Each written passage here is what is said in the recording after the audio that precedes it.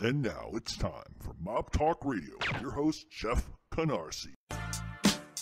Yo, Lord Willin, Jeff Canarsie, Mob Talk Radio.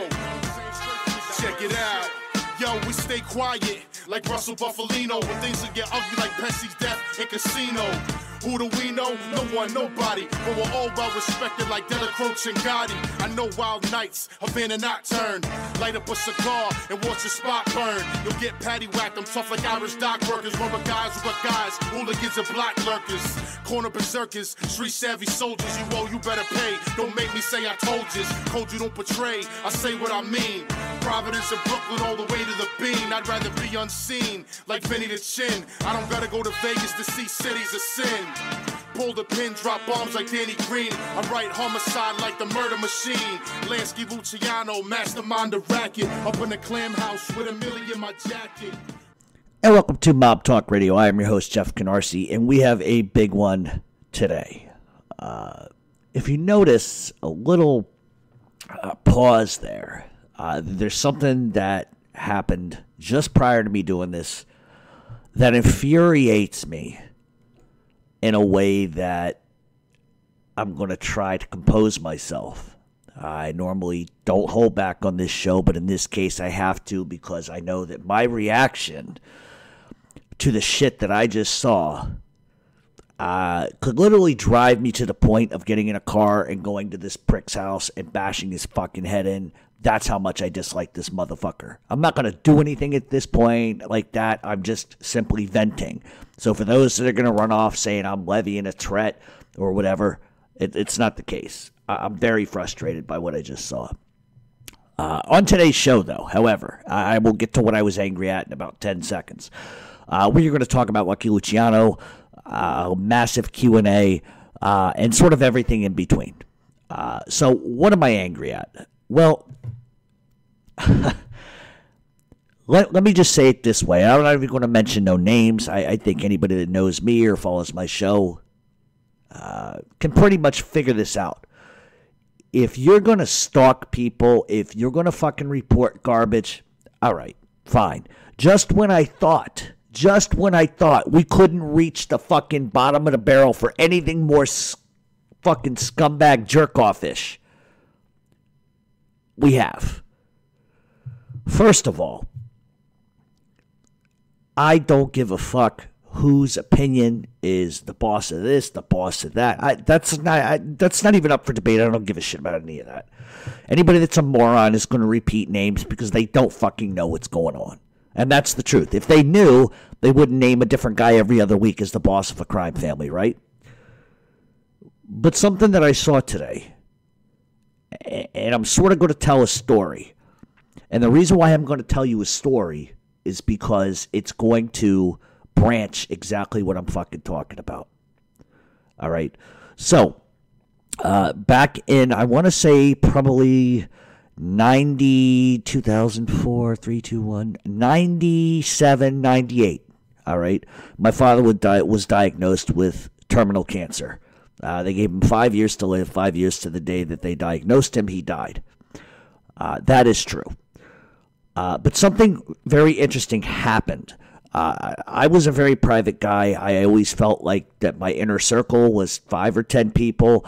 I had a lot of associations with a lot of people, but my inner circle was like 10, 10 people. You know, the girlfriends came out, the wives came out, whatever the case may be.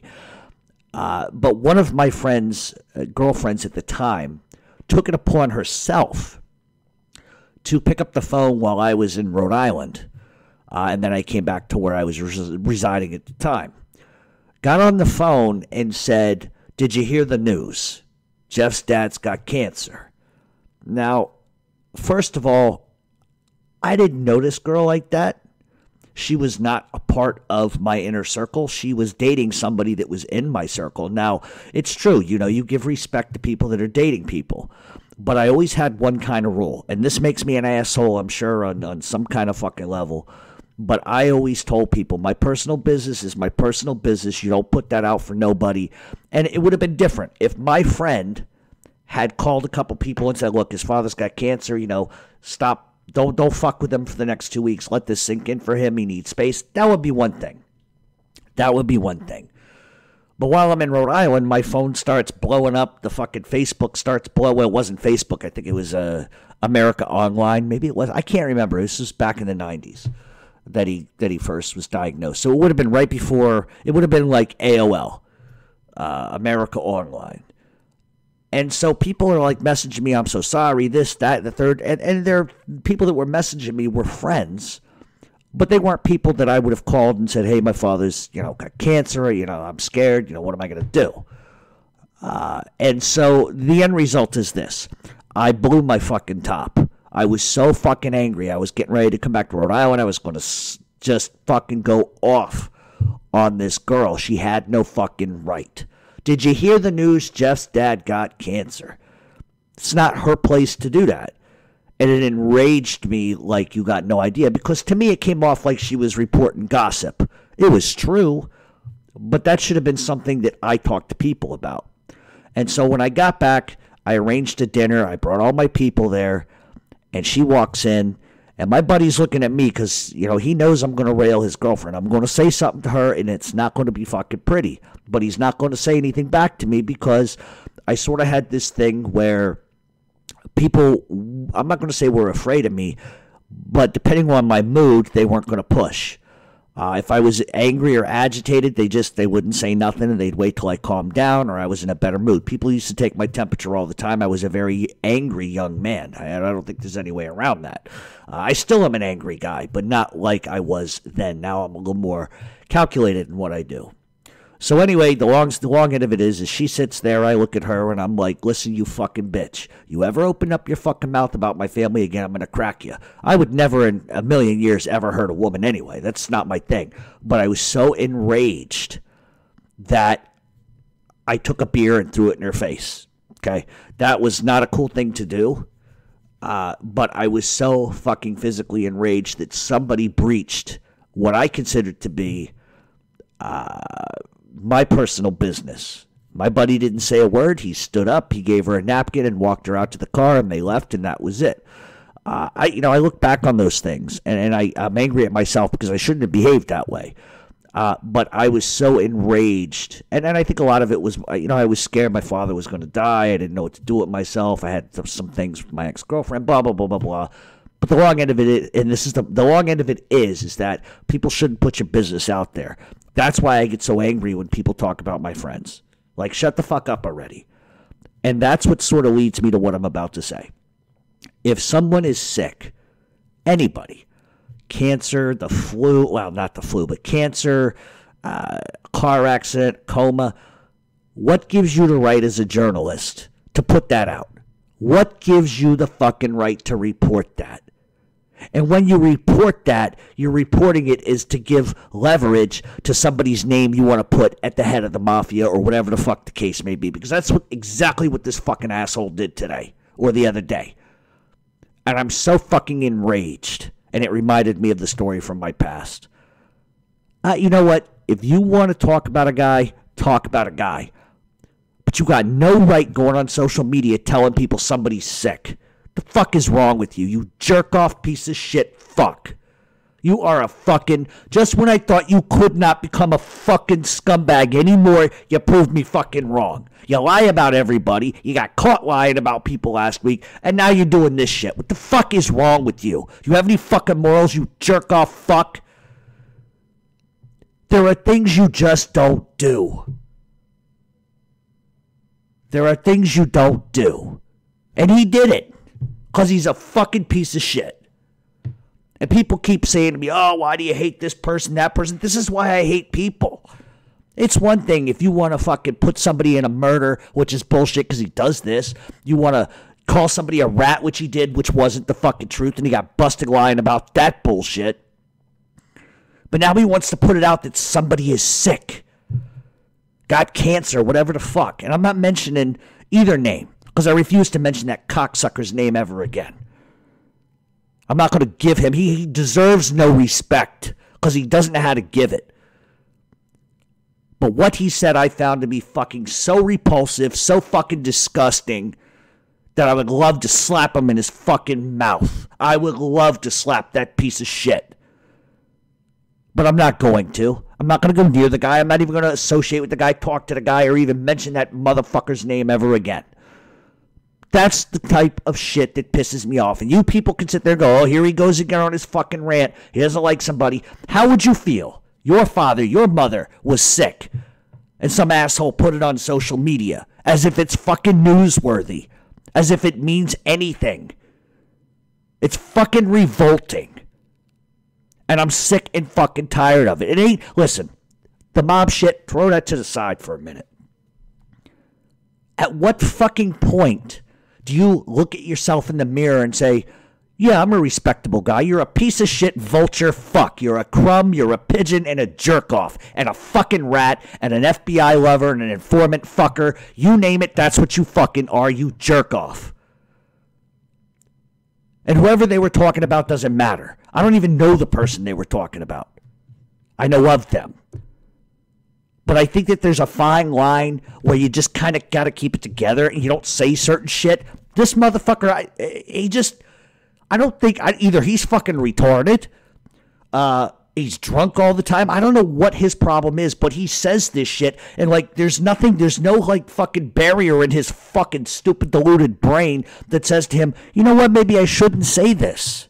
Maybe this is wrong. How's that going to affect his kids, his wife, his family, his friends? Why is that fucking news? What does it have to do with anything? You fucking vulture. So listen, I apologize, but that shit, it, it, that really bothers me. Even my enemies on fucking, or my haters on fucking social media, even my haters, the ones that just continuously poke and prod and start shit because they're fucking lunatics. If I found out one of their family members was sick or they were sick, you know what I would do? Because who I am, I would reach out and say, "How you doing? Are you all right? Do you need anything?" I wouldn't announce it like it was a fucking carnival act. Now coming to the three ring circus, someone who has cancer. I, at what point does this guy have any morals? It just fucking sickens me, and I'm fucking tired of it. Say what you want about Joey Donuts, uh, Philly the fucking wrench, and all of these little mob nicknames and all this other bullshit that people report. Take that aside for a second. Put push that to the left. I could be angry about that. I could be raw. I could be angry about the assertions that he makes about people that I may or may not know, and I can defend them because they don't deserve it. But when you go that far and you step over the fucking line, it's one thing to peek over somebody's fence. It's one thing to fucking stalk them in the bushes, jerking each other off while you film a guy getting arrested. It's another to make false accusations about people that could get them fucking killed. Now you're going to say some shit about somebody being sick. You fucking piece of shit. He's a fucking scumbag. He's a dog, and he's a just an utter piece of shit on every fucking level. No tact, no fucking balls, no fucking morals. He's a coward. He's a bitch and a punk. All right. That's it. That's all I'm going to say. That's all I'm going to say. So for anybody that wants to try to manipulate what I'm saying here and saying, "Oh, he's levying threats," I'm not levying threats at anybody. I'm highly pissed off that he was so fucking insensitive, so arrogant, and so much full of himself that he can't just shut the fuck up and stop saying stupid shit like this. You fucking scumbag. I ain't levy a threat at anybody. Do I want to smack him? Sure, who doesn't want to smack him? I got a thousand, I got 10,000 people that would smack him if they could get away with it. That doesn't mean we do that. I'm venting my anger because that shit infuriated me. And I'm going to tell you something that I don't talk about. My sister died of cancer at age 10, okay? My father died of cancer at 61 years old.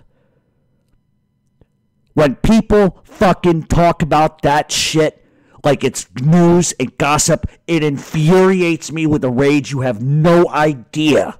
You have no idea. I wonder if that piece of shit prick's ever buried a fucking 10 year old kid with cancer. You ever done that, you fuck? No. You ever watch your father die, be withered down to 70 pounds, dying in a bed? Refusing to die because he's worried about what's going to happen to his son? So when people fucking say shit like that, I, it opens up a fucking part of me that I'm not comfortable with because I get violent and angry. I'm not fucking crazy. I, I just, I have feelings like other fucking people, and I will not tolerate this shit from anybody. So listen to the motherfucking prick if you want to do that. But at some point, you gotta see what everybody else sees. I could give a shit less what the fuck this guy does with the rest of his fucking life because the minute he said that shit on Instagram, he became persona non grata and a big, the biggest piece of shit I've ever seen in my fucking life. Scumbag fuck. All right, so all that being said, I'm going to take a break before I have a fucking aneurysm on this motherfucker. And when we come back, we're going to talk about Steven Crea Jr.'s plea deal for a second and then we're going to get into the q&a and get into lucky luciano. Like i said i apologize. I just i'm passionate about things you know? But when you go that to that point when you go to that point i lose my shit. We'll be right back on mob talk radio. On a given week, I'm out of town a lot. Uh, whether it's Philadelphia, it's New Jersey, Connecticut, Rhode Island, wherever the case may be, I'm always looking for a place where I can sit down and have a great dinner. Uh, ambiance is key, price is obviously key, but the most important thing is is the food good? And there's a place I want to tell you about today. It's called Saltwater at Margate. Uh, if you are going down to the shore, because I know a lot of people in Philadelphia go to the shore, uh, especially Margate, you're missing out on a great restaurant if you haven't been there. Uh, the name is Saltwater Margate. It's at 9401 Ventnor Avenue, Margate City, New Jersey. Uh, the phone number there is 609 289 8078. You can also visit them online at saltwatermargate.com. This place is unbelievable. Not only is the food absolutely superb, the price is great too. Uh, they're renowned for their pizza and their gnocchi. Uh, they have all kinds of different things from mussels to roast pork and Italian fare. So do yourself a favor, do me a favor, go and visit Saltwater Margate. You will not be disappointed. Uh, it is a place that I think at some point, if not already, there's going to be lines out the door and around the block. So if you're down on the shore, stop in, go to Saltwater Margate. At least check them out online at saltwatermargate.com. And welcome back to Mob Talk Radio. Uh, okay, as far as Steven Crea Jr. goes, uh, Steven Crea is an alleged capo in the Lucchese crime family. Uh, he's pretty much going to accept a plea deal uh, expected to be entered this week into the courts. It includes charges of racketeering. Uh, and other assorted crimes. Uh, but he is not going to plead guilty to the murder of uh, former Purple Gang leader Michael Meldish. Uh, and that's just the way that rolls. Uh, Crea probably realistically is going to be looking at a 13 year sentence, as reported by Jerry Capeci. That's uh, from him. Uh, but but Crea from the very beginning has maintained his innocence uh, from day one. He even took a a polygraph, which you know a polygraph isn't admitted in, into court, can't be admitted, but he actually passed a polygraph uh, you know, saying that he had nothing to do with that crime whatsoever. There's a ton of fucking informants in this case, and I, I don't want to get into the whole specifics of it, but uh, all that being said, uh, Crea was offered a 10 year plea agreement earlier uh, but it included the murder of Michael Meldish, and he just absolutely is uh, basically saying he didn't fucking do it. He's not going to accept any deal that includes a murder that he didn't participate in. Uh, so it's expected that he's going to get handed a 13 year sentence. Uh, the Crea was indicted with his father, Steven Crea Sr., and Matty Madonna uh, for murder and racketeering and a slew of other charges. And we have a bunch of questions sort of revolving around this today, so I'm going to try to answer them uh, on the show more than anything. Uh, there are certain aspects to the Matty Madonna and Steven Crea case that I can't get into for a couple different reasons, and I'll explain why once we get to those questions. Uh, so, all that being said, we're going to jump right in and get to the q&a uh, once again if i didn't get to your question it's because time just doesn't allow for it.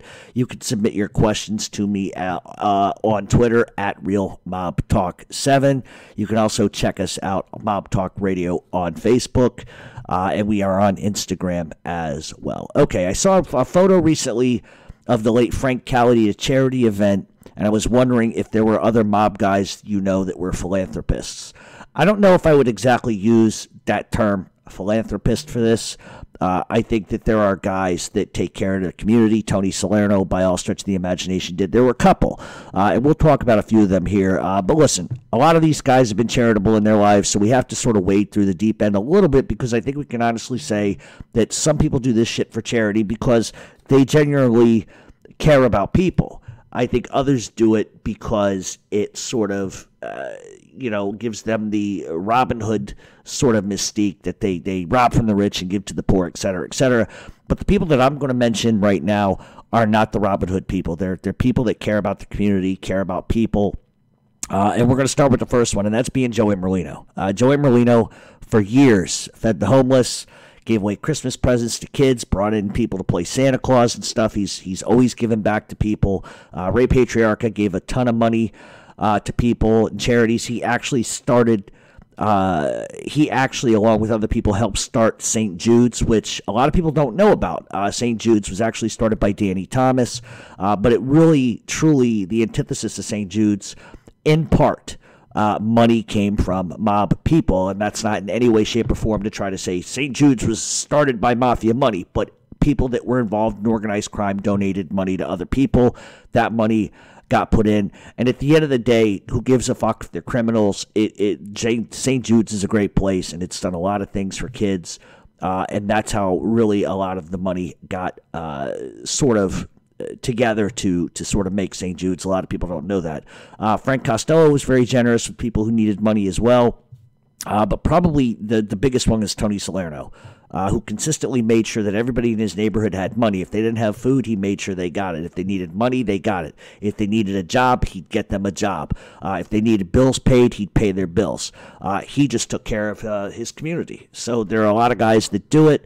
Uh, but I don't know if we would we, we should call that philanthropy uh, necessarily. But all right, out of all the Philly rap books, uh, let's see which one was okay. Out of all the Philadelphia rap books, VC Leonetti, Previte, Caramandi, and Ralph Natale, which one, if any, are the most accurate? all right. As far as books, I mean, look, there's always an element of truth to some to some aspect. I mean, everything that you ever hear of, uh, be it the Loch Ness monster and all this other crazy shit. Uh, everything always has somewhat uh, a bit of truth to it. Now, how much the truth is is one thing, uh, but the problem is, is these, these guys all inflate who they were. Uh, they inflate what they did. Uh, and how often they did it. Uh, informants are notorious for that. Uh, they are who they are. At some point, they're involved in organized crime, but it seems like all these guys from Previte uh, to VC have all sort of made their life bigger. Ralph Natale really told some good ones, but these guys all inflate who they are, so you never really know, honestly, uh, what the total truth is. I mean, I wasn't there, uh, but especially with the mention of those books in general. It, you know, it's just one of those things of one or two things may be true, but then there's 50 others that aren't. So how can you take a book in its whole? Uh, but if I have to rank them in believability, which I don't believe many of them, but based on certain facts that I do know, I would probably say that uh, Caramandi, then Leonetti, VC, Previte, and Ralph Natale. That's the way I would kind of do it. Uh, but the things I've heard about each of those guys would, would blow you away. Uh, they all, in many ways, sort of elevated themselves, like I said. Uh, they made more of a legacy about themselves than the actual truth itself. Uh, I can tell you that of all those guys, the one person who ratted, who did rat, uh, which completely shocked a lot of people, was Philip Leonetti. A lot of people thought that Phil Leonetti would never talk, but you know that was a hard pill for a lot of people to swallow. But ultimately, at the end of the day, Phil, Philip Leonetti uh, has gone on record as saying things like he didn't like Joey Merlino, uh, he didn't want to be near him. Joey Merlino was the downfall to the Philadelphia Mafia. But the truth is, uh, and you could take this as a fact because it is a fact, is that Philip Leonetti actually did like Joey Merlino a lot. He actually liked Joey. So when he goes on these shows and he starts saying all this crazy shit, he's got to mention Joey because you know he he just these it's it's it's like the guys that uh, are rats and they go out and they have to, to mention John Gotti or any of these other people. They do it because that's notoriety for them. Uh, them just being themselves isn't big enough, so they have to pull another name into it. And that's essentially what Leonetti did on the 60 Minute show by bringing up Joey and some other things like that. Um, So when they get asked questions like that, they, they manipulate the truth. Uh, so of course, you know, he's going to say things about other people. But the truth is, like I said earlier, he did like Joey. I mean, if we go on the principle uh, that he can't admit the very fact that he did like Joey, then how in the hell can we believe much of everything else that he says? Uh, he blamed his uncle Nick Scarfo for everything, uh, but unlike other rats, uh, he didn't uh, rat in the beginning to avoid charges. He waited till he got sentenced to 45 years before he starts telling on everybody, and, and he really impacted a lot of different people. Uh, so, you know, I, I, think for me, it's hard to believe a lot of those books, uh, especially anything written by fucking, uh, you know, George Anastasia. I don't believe anything he writes because he's been on record as not telling the truth. So, uh, it's entertainment. It's meant to be entertainment. So enjoy it as such. All right, out of all the boss's sons who got into the life at some point, who do you think was groomed the best, and who do you think uh, wasn't, and who should have never gotten involved?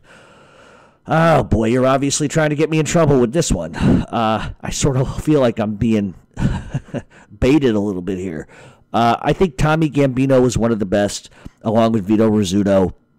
Uh, and I think of all the sons, you know, I don't think Tommy Gambino really wanted to, to be in that life, uh, but he just kind of did what his father wanted him to do. Uh, Santos Trafficante Jr. was was really good at what he did, uh, but as far as guys who shouldn't have gotten involved, there's a lot of names I could mention. Uh, Greg Scarpa is probably one that shouldn't. John Gotti Jr. probably shouldn't. Uh, but it, it, just it is what it is, and that's not to disrespect anybody. But I just think that there are certain guys that are cut from a cloth, uh, and certain guys that aren't and I, I, think especially when we see the case uh, recently with Vinny the Chin's son getting pinched. Uh, you know, there's that famous scene in the Gotti movie where allegedly Genovese uh, says to Gotti, you know, it's it's a shame that you know Gotti's bragging about making his own son, and and uh, Vinny the Chin just shakes his head like how how could any father want his son involved in this? Yet there's the hypocrisy right there. All right, please talk about Pittsburgh and anything you have information on. Uh, it's a great, tough city that goes unspoken of in your world. Why is that? Uh, it's really unspoken because it's no longer a base. And what I mean by that is they, they essentially have been defunct for a long time. Uh, historically, though, that's a bit of a different story. Uh, historically, Pittsburgh was broken into really two factions. They had the Sicilian Mafia, and then the who really ran the north and south sides of the city. Then you had the Camorra, which is Neapolitan, uh, in the east end of the city. In the early 1920s, there were two fact the two factions basically went to war over bootlegging, drugs, and everything else. Once prohibition starts, then the two factions really start to go after each other, uh, really specifically in the Italian neighborhoods of Larimer, Homewood, uh, the Hill District, and in downtown. And they also fought, fought over New Kensington, Arnold, uh, Wilkinsburg, uh, what else? McKees Rocks, uh, Wilmington, and Braddock. Uh, from 1926 till about 1933, there were over 200 murders alone. So, Phila- uh, not Philadelphia, Pittsburgh was a hotbed for organized crime for a long time. Uh, Stefano uh, Monastero was really the first boss of Pittsburgh. There was also a contingent from Chicago and other fringe groups as well. Uh, Monastero would eventually get whacked in 1929, and then his brother would sort of take over, but then he was killed soon after. Uh, then Siragusa would take over, but he couldn't keep the power and would end up getting whacked in 1931, a few days after Salvatore Maranzano got killed, and we're going to talk about that a little bit today. Uh, but after the hit on Siragusa, the family would would pretty much get a new boss and Sicilian tough guy, uh, John Bazzano. Bazzano controlled the sugar and yeast in the city, which allowed illegal distilleries to make alcohol. Uh, Bazzano would actually then form alliances with the Volpe brothers. Uh, and there were eight Volpe brothers. We're not going to get into all of that, but but basically, Bazzano allowed them to operate uh, out of a coffee shop in Middle Hill, and Bazzano uh, recognized that it was better to make peace than make war. But you know, like history always repeats itself, that was not going to last. Uh, the Volpes were able to take over the uh, Neapolitan factions, and then they absorbed their rackets through Turtle Creek Valley, uh, Wil- Wilmerding, uh, and then the alliance between Bazzano and the Volpes would end when the Volpes began to encroach into East uh, East Liberty and the North Side. Uh, Bazzano would get fed up with it, and he would send a hit squad and actually killed three of the Volpe brothers. The problem was there were still five Volpe brothers remaining, and they ended up going to the commission in New York. uh, to pretty much complain that, that this guy was doing unsanctioned hits. As a result, the commission agreed with the Volpes uh, and the situation they were going, uh, enduring essentially, and the commission sentenced Bazzano to death. Bazzano was basically told to come to York to explain his actions, to which he did, but he never left. Uh, his body would be found on the streets in Red Hook, which is in Brooklyn, uh, having been stabbed 50 times and strangled. Uh, with Bazzano dead, his number two stepped into the role. His name, Vincenzo Capizzi, but in 1937, with the volatile warring, he said, fuck this shit, I don't want anything to do with it. So he steps aside, uh, choosing to live rather than die. Frank Amato then sort of steps in and he begins to expand all the rackets in Pittsburgh. He then vied for control of the gambling rackets in all of Allegheny County. Then in 1956, he would sort of become sick and he would step down and then we, the infamous John LaRocca, would then take over. Um, LaRocca would basically run the family for 30 years. In 1957, LaRocca was at the infamous Apalachin meeting with Capo Gabriel uh, Mannarino and Michael Genovese. Uh, LaRocca was able to actually get out of the house without being caught, but the two captains, uh, and Genovese, weren't so lucky they ended up getting arrested. Uh, LaRocca would then further push into territories and he would also cement close friendships with Santos Trafficante uh, and get involved in business with him in Cuba and in Florida. And LaRocca was the actual secret player in the Sans Souci Hotel and Casino uh, in Havana, which was a big place. Uh, LaRocca would use his power and money to influence and control politics, police, and pretty much any official he could get his hands on in Pittsburgh. Uh, he also controlled the labor unions in the city through the local 1058. Uh, LaRocca would then cement his relationship with Carlo Gambino, Russell Bufalino, Angelo Bruno, and Nick Civella, based out of Chicago. Uh, once you get to the 1960s, uh, LaRocca ends up having a beef with the Cleveland Mafia as LaRocca begins to move into Youngstown, Ohio, which created a lot of problems. Then in 1984, LaRocca would end up dying and Michael Genovese would take over. Uh, Genovese would move the family into the narcotics trade. Uh, with that and losing whatever big political influence they had at the time, it really hurt uh, the mob in Pittsburgh. Uh, they began to lose members and to long sentences, death, uh, you know, and other things. The FBI kept getting convictions. Old members started dying off and they didn't really have a whole bunch of people left. To my knowledge, they're still there, still active, but the likelihood that they're a family is probably not the case at this point.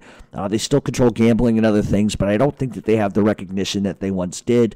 Uh, and word from what I understand is that membership is very low. It's not to say they haven't had any sort of resurgence, uh, because I'm sure, like everything else, uh, you can't totally kill something off, but I'm not going to say that they're a big crime family either at the same point. All right do guys still have political power as far as local level councilmen and mayors and things like that, or do you think the days of even owning the local guys are done? Uh, I think in some cases, yes. I, I, don't think it's major. I think it would be like minor things, like like you said, city council and some other things like that. I think they would use them specifically for like zoning laws, construction permits, uh, stuff that they're having problems with to make money. I'm sure that they grease people, but the days of controlling local government are pretty much over as far as I'm concerned. But it, it I just I think it happens to some extent, but I don't think it's like it was in the '60s. Uh, but for instance, Providence, Rhode Island, uh, was always controlled uh, for 40 years, it was controlled in every facet with politics. Uh, for instance, if you wanted to be a police officer, you had to bribe City Hall. That's just the way it's worked in Providence, and that's probably the way it always will work. Providence has always been corrupt uh, and probably will be. All right. What's the status of the Bufalino crime family now? Uh, he seems smart enough to in, ensure their longevity. Uh, from what I understand, they're, they're, still active. They're not the powerhouse, obviously, that they once were. I, I don't think that there is uh, a huge conglomerate, but I still think they're there. And I, I think they've locally, they've, they've probably fallen under the Genovese umbrella more than anything, or the Gambino umbrella at this point. Are they active? Absolutely. Uh, but as far as to who's doing what, I, I couldn't tell you. Uh, listen, after Russell Bufalino died, the family lost an insane amount of power and prestige. Uh, not to say that that those after Bufalino were bad. That's not the case at all. I just think that Russell had such a respect from all the other families uh, that you know other families wouldn't have tried to encroach on his turf. Whereas these days they might because they don't maybe not necessarily have the fear that they used to have. When somebody is that powerful and and they're done or they die or they go to prison, it's hard to really recapture or resurrect the power that you had Providence, once again, is another example of this. After Ray Patriarca Sr. died and Ray Jr. took over, things weren't the same. Uh, Ray Jr. didn't have the power or the fear to continue, and, and guys weren't afraid of him. And when you have that situation, you're going to see a lot of ebb and flow and a lot of power vacuums. But today, things in Providence, and, and I mean this like as in right now, things are aligned very different in Providence now. And I think who they have now in charge, at least from my perspective, it's a, highly intelligent move. It's a smart decision, and it's a solid move. Uh, I just wish, and this is just me, I wish they would stop changing where they base their headquarters. Pick Boston or Providence. You know already. All right. Uh, I don't know if you've answered this question, uh, but who killed Allen Dorfman, and did it have anything to do with the Hoffa disappearance? This is a very, very long answer, but I, am going to give it to you as best I can. For those who don't know who Allen Dorfman is, let's let's sort of address that part first. Dorfman had uh, basic mob pedigree. His stepfather was a mob heavyweight named Paul Red Dorfman. Uh, his stepfather was the head of the Chicago Waste Handlers Union, and he was also a kingpin in the in the outfit. Excuse me. Uh, his stepfather would have some serious problems as he ends up getting caught stealing money from the AFL CIO union health accounts and, and sort of began began paying his personal bills with that. Uh, the connection between Allen and Hoffa came through his stepfather. Um, through his father, he would meet Joey Glimco, who was a racketeer and labor union uh, labor union leader for the outfit. Uh, through Glimco, he would end up meeting Paul DeLuca and Sam Giancana. Uh, it was through his stepfather that uh, like we said, Allen met Hoffa. In 1949, Allen would form the Union Insurance Agency and obtain the contracts to provide health and welfare insurance for the Teamsters, the Central States Union. We've talked about that before. If you're unfamiliar about the Central States Union, go back to last week's show and listen to the Jimmy Hoffa episode. We talked all about that.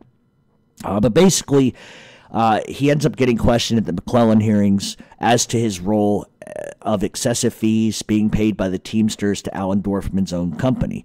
Uh, in other words, he was skimming. Uh, those skims were kickbacks that went directly to Jimmy Hoffa. Uh, in turn, that money would also be used uh, as loans. to the mafia to open places in Las Vegas. Dorfman and Hoffa were very tight, and it was Dorfman who paid the bribe to the juror to get Hoffa off the criminal case in Tennessee. Uh, after Hoffa goes to prison, Dorfman takes over the Central States Pension Fund, and then he would later make a huge loan for $160 million to Argent Corporation, which was the shell corporation that owned a lot of the mob controlled casinos, which also included the Stardust. Um, by 1977, Dorfman was out uh, and, and lost control of the pension fund. Uh, for uh, basically, in over the next preceding years, he had a lot of legal issues. Like, for example, in '74, he would be indicted for fraud for taking 1.4 million in loans, which is made by the Teamsters Fund to American Pail Company and Gaylor Products. Uh, indicted with him was Joey the Clown Lombardo, Tony Spilotro, uh, Irwin Weiner, and a bunch of other people. Between 59 and 69, the Central States Pension Fund loans really they, they went unpaid. Uh, the case would collapse after Dan Seifert, who was the main witness against the group, got killed. Uh, it's worth noting that Lombardo would later be convicted for that murder. Uh, so in 1979, things got bad. The feds ended up wiretapping Dorfman's office. The information the feds got and uh, they were able to basically indict Dorfman and four other people. In May of 1981, Dorfman would get convicted with Roy Lee Williams, who at the time was the Teamsters president, along with Joey Lombardo, who was convicted of bribing Howard Cannon, who was the Democratic senator from Nevada. Uh, three days before sentencing, Dorfman ends up getting whacked outside the Lincolnwood Hyatt Park Hotel parking lot. Uh, Irwin Weiner uh, was with Dorfman when he got hit, but was unharmed in the hit, which sort of tells you that Irwin likely either was in on it or he knew it was going to happen, or it's just complete fucking sheer luck. Uh, but I don't believe in luck. That's just the truth. So to answer your question, uh, I don't think Dorfman was involved in Hoffa disappearing, but he likely knew it was coming down the road and likely knew the players. Uh, you couldn't be the mob's front man in Vegas and not know those things. Uh, so why was he killed? Simple. The mob lost control of the skim in Vegas. They were furious about that. They also feared that Dorfman might talk, considering he was facing a 55 year sentence. Uh, they wanted to limit the scope of the government peeking into their, their union business and etc. So it, it could be possibly that they just feared he might talk and they might have been a little worried that he knew what happened to Hoffa and was afraid he'd say something. So he's got to go. All right. Did Venero Mangano retire from underboss after his 2006 arrest and conviction, or is he still being used till the end? Because if so, I'm amazed the guy not never got elevated to boss. Also, why was Mangano not made boss of the Genovese crime family after Gigante's death? Uh, first of all, uh, Benny Eggs, and that's who we're talking about. He suffered, I think, two or three heart attacks while he was actually in prison during the Windows case, uh, and it actually left him really fucked up health wise. Uh, he ended up being partially blind, and he was wheelchair bound as a as a result. So his options, I mean, were pretty limited. They were going to put a guy that had that kind of health problems in his boss, and Mangano really uh, he wasn't actually convicted or arrested in 2006. He actually got arrested. Uh, excuse me. Released from prison in 2006. Uh, had he been healthy, who knows? But I, I think the reality is he just was too sick to, to take over. All right, could you rank the three, the five families in current strength? All right. Uh, in my opinion, Gambino, Genovese, Bonanno, Colombo, Lucchese. There you go. Once again, the five families in current strength Gambino, Genovese, Bonanno, Colombo, and Lucchese. All right. In your opinion, who are the biggest rats of them all? Boy, I, I, I could go down a list of this shit. Uh, Joe Valachi, Philip Leonetti, and Sammy Gravano are the three biggest rats I think that have ever ever been fucking born. All three of them should be in the ground. One of them is. The other two are well on their way, I hope. All right. Do you know about Tony Gambino, grandson of Lucky Luciano? Was he a rat? First of all, Tony Gambino is not the grandson of Lucky Luciano. That's number one. Uh, for those that don't know, Lucky Luciano didn't have any children. Uh, Tony Gambino is, or at least has been called a fraud by a bunch of different people. Nobody in those circles have ever heard of Tony Gambino. He claims to have grown up in a family, uh, but once again, Nobody's ever heard of the guy. Uh, a few years ago, because he is claimed to do 20 years in federal prison, I did a BOP search on him. Uh, and that name does not exist in any of the Federal Bureau of Prisons records. And even rats have records in the database. Even if they became rats, it still shows them at prison. This name didn't show up. Tells me the guy's a fraud. He's a fake. Uh, and it's somebody who made up a, a, name and a legacy that just absolutely doesn't exist. You got to be careful. There's a lot of those guys out there that, that tell great stories, but they, they really, nobody's ever heard of them. He's one of them. All right. The setting is 1960. There's a dispute in Vegas over the skim and the Gambinos wanting a bigger piece of the pie that than Chicago has. There's a war between the two families alone, both arguably at their height. Who comes out on top? Accardo, Giancana, Paul Ricca, the outfit versus Carlo Gambino crime family. Uh, listen, at the end of the day, I, I think ultimately the Gambinos win that, and, and I'm going to tell you why. Because ultimately they would have gotten the Genoveses, the Luccheses, the Colombos, and the Bonannos involved, and those guys together outweigh Chicago any day of the week, uh, especially when it comes to money. I mean, not to say Chicago wasn't strong, they were. Uh, but I think there's no way the outfit could have taken on the five families. Uh, and and I, I think Carlo Gambino on his own was more powerful than, than a lot of people combined.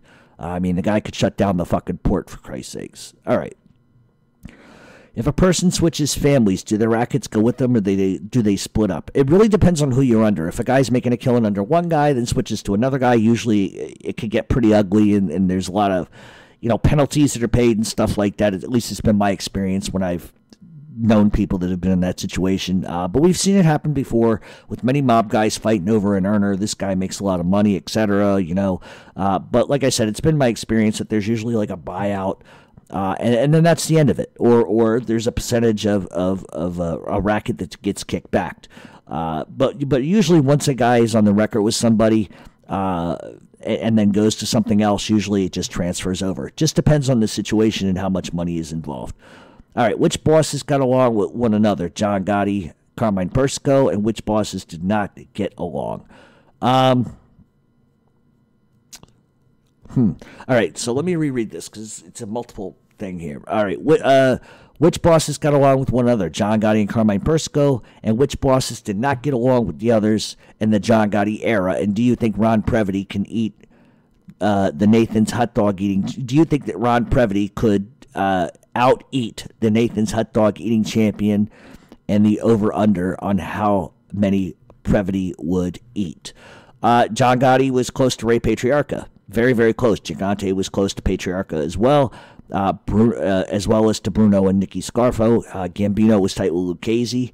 Uh, and Patriarca, Genovese, Ge- Vito Genovese, however, his real, his closest ally was Joe Bonanno. Uh, Ron Previte could swallow a whale's cock, if that tells you anything. So, I, Ron Previte. So I hope that answers that. All right, had Vito Genovese not been so violent and egotistical, do you think he would have been as powerful as Gambino? Absolutely, unequivocally. And we're going to talk about Vito Genovese a little bit today, but I think if Vito Genovese had just sat back and done the right thing, I, he could have been as powerful, I think. Uh, but I don't think his ego or mouth would have allowed that to happen. All right. You talk about how Carl. Ugh. You talk about how Carlo and Neil really didn't trust each other, but worked well with each other. Now, now I've got a question about another boss and underboss, and what kind of relationship did Angelo Bruno and Phil Testa have? Did they trust each other and did they get along? And what was the reason Angelo Bruno chose Phil Testa? Bruno didn't choose Testa. Bruno got whacked. Uh, it was New York who put Testa in. Uh, Scarfo, listen, Nicky Scarfo was offered the role by Vinny Gigante, but but Scarfo turned it down, let Phil Testa take over. Uh, but no, uh, Bruno had no decision in that because he was dead. He got killed. Uh, so that that was more of a uh, a decision I, I think that was supported by the commission at that point. All right, are there young guys made today like any other any under thirty or thirty five? Uh, or are the books still closed? To my knowledge, some guys have gotten made recently. I, am not going to get into how recently, uh, but uh, as far as young guys, say 35 and under, who are made, I, I know of a few that are. Uh, be one's 32, one's 35, one's 37, one's 40. So yeah, I mean, young guys do get made, but you know, it's it's different with each family. Uh, to be honest with you. Uh, but who they are, I'm not going to even talk about them. So, all right, what are the chances uh, of Lucchese Street Boss, official underboss Steven Crea, and lead capo Matty Madonna will beat their federal indictments? Do the feds have a lot of evidence on uh, murder charges that might uh, and might get them on nonviolent part of the indictment? Uh, you know, I, I, I mm. All right, the feds do not have a lot of a lot of evidence on murder charges and might get them on nonviolent part of the indictment. Who knows? We'll see what happens. The upcoming trial will be very interesting. Um, there's a couple of things, and, and I mentioned at the beginning of the show that I wish I could talk about uh, because I, I I may know a little bit more about this case than a lot of people, only because, and I, well, I can't even tell you really because, uh, but there were uh, two people that were informants living next door to each other. Uh, I'm not going to mention their names, but they were living next door to each other, committing crimes together, all this other shit. And they gave the FBI information on both Steven Crea and Matty Madonna. Now, the FBI has long denied that these two rats were living together and that they didn't know, but that's a bullface fucking lie. Uh, and it's a bullface lie because I have more than enough proof that it's a bold-faced lie. And, and in fact, and, and I, I got to be very careful what I say here because I don't want to uh, really get my, my nose more involved in this than it already is. But what I will tell you is this. The two fucking rat bastard pieces of shit that gave the feds information didn't even know either one of these guys. They made up a bunch of shit. The feds are just taking a bunch of shit and running with it. And then the feds are trying to deny that they put two fucking Witsec rats living right next door to each other. The problem is there's photos and videotape evidence of it. So uh, that's my whole part. So if, if we go on the theory that the, uh, that the FBI took evidence from these two garbage pails and used it to help indict Matty Madonna and Steven Crea. And I know for 100% fact that, and, and I don't say that just because I've seen stuff, I, I might have been around some of this stuff. So what I'm telling you is, is that uh, if the FBI levies indictments based on the words of these two pricks, and then the FBI is also denying these two were put living next door to each other, and there's certifiable 100% proof that I could put out right now about that, then it's kind of hard to believe what the FBI is alleging. Uh, the more and more I keep seeing this, the more and more I just keep shaking my head, and I cannot fucking believe that the FBI keeps getting away with this shit, to be honest with you. Uh, and and what the specific allegations are. And this is what's so stupid. There was somebody else that was indicted for allegedly attempting to want to murder one of these informants, and it's so it's hysterical to me because. Uh, this guy was living in New Jersey next to another rat. He wasn't even living in the state where allegedly they tried to go look for this rat. Uh, one of the rats is the guy who ratted out John Riggi. Uh, the other one I'm not going to mention because he's just not worth mentioning. But if we're gonna if we're gonna take the FBI's case and believe all these indictments based on some words from these two pukes, then on the other side of the page, you you full well know that the FBI put these two together. Now they're now the FBI is lying and denying it when I know it's fucking true. Uh, attorneys know it's true, and I may or may not have been contacted by uh, defense attorneys in this case to ask me what I knew as far as rats living next door to each other and whatever, because I've done some investigative stuff and, and, and other stuff. Uh, you know, uh, that's that's a big that's a big like blinking fucking light. That's an elephant in the fucking room. And so you know you, you tell them whatever you know, and and and when.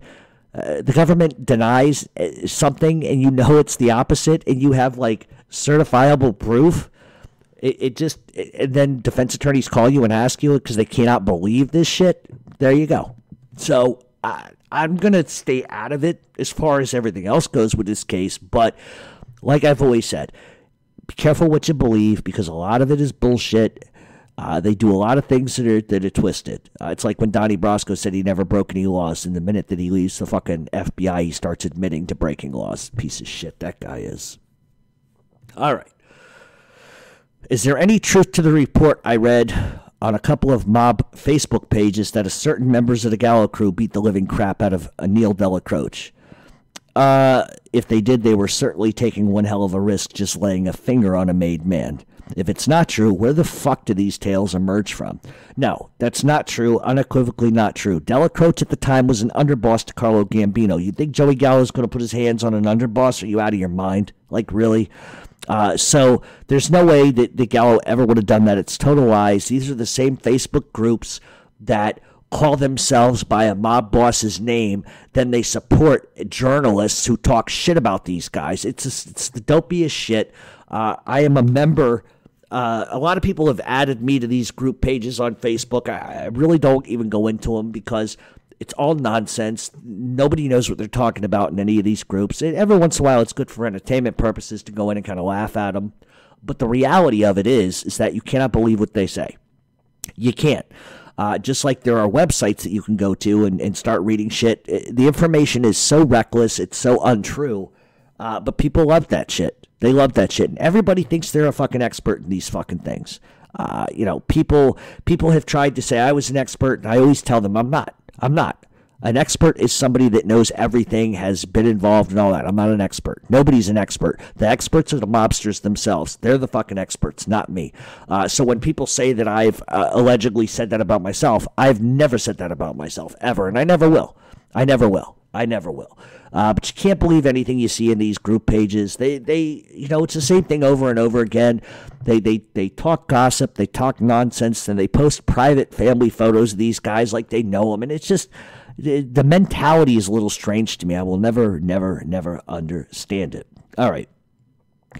What happens to Bugsy and Meyer Lansky if Lucky Luciano doesn't survive the murder attempt in 1929? Uh, look, I, I, I think uh, Lansky still would have been, I, I, think he still would have risen to the top uh, because he was too smart and too valuable not not to. Uh, he was he made a lot of money for the mob, put together a lot of stuff for them, uh, and maybe Bugsy Siegel doesn't get killed. Uh, because maybe Lansky might have given him a pass. Maybe things would have different. But I think ultimately, for what Bugsy Siegel did, he should have been killed. His death was warranted if you're going to go by a street code. Uh, but you know, uh, who knows what would have who knows what would have happened. But then again, without Luciano, maybe Lansky and Bugsy don't become who they were in their own right. Because without Luciano, Lansky really was brought into the fold by Luciano. So we could play it a million different ways. We just we just don't really know. But that's definitely a lot of things to think about. When Al Capone went to jail, why didn't Ralph stay in power? I heard he was kicked out of the mafia. Uh, Ralph was never kicked out of the mob at all. It's just the fact that when his brother died, you know, uh, whatever clout he might have had uh, sort of went away. But he controlled gambling stuff in the vice districts. Uh, but that was that was pretty much it. that was pretty much it. All right. Was Joey Merlino ever convicted of a felony, and will he be able to vote in the 2020 elections? Uh, yes, Joey Merlino has been convicted of felonies. Uh, convicted felons cannot vote unless they get their rights restored, and you can only get those rights restored based on certain criteria and offenses. Uh, but Joey does not fall under any of those criteria, so no, Joey doesn't get a vote. But if Joey was going to vote, he's going to vote Donald Trump. I'm telling you because I know Joe. All right. Uh, I never ask questions, and I have a few old timers who usually give me a pretty accurate answer. So this one's going to be a little bit different. Uh, if the mob post the formation of the commission avoided backing big political figures such as the Kennedys uh, and Joe Bonanno never publishing his book, what would Cosa Nostra look like today? That's a great question, and it's one I actually think about a lot. Uh, what would things sort of look like? Uh, obviously, we you know we can't change history, right? So you never know at the end of the day. But I think that had they avoided the Kennedys, the CIA stuff, uh, some of the more political things, uh, the Bay of Pigs, the killing Castro, all of that crazy shit, I think the mob today would absolutely be be huge. But I don't think that they would be I think it would be a little convoluted because technology has changed so much, and and it's so much easier to get caught these days with technology. So I don't think necessarily that that would have changed history. I think it just would have de- delayed the inevitable. I still think the same thing would have happened. It just would have been a little bit more delayed. So some of these guys might have had a longer run, but we can go back even further than that. Uh, Joe Valachi. Joe Valachi put it on the map. He doesn't say what he says then that gets delayed by about 10 to 20 years. Kennedy shit. So you see my point? Everything has like a domino effect to it. All right, most powerful, Gambino or Accardo? Carlo Gambino. Uh, have you seen the Lewisburg doc where Herbie Sperling calls out Nicky ba- Barnes, calling him a punk for ratting on his son? I have not seen that. I will admit that. Uh, was Bill Bufalino rated, related to Russell Bufalino? No. He was allowed to use the last name to sort of give himself some credentials as a lawyer, uh, to sort of give himself protection from other people, but no, they were not related. All right, is there any proof that John Gotti ever pulled a trigger? I don't believe so. Is it evidence or rumor? Uh, listen, I haven't seen evidence. Uh, rumors, absolutely. There's always rumors, but is there anything concrete? Absolutely not. I can't say that there is.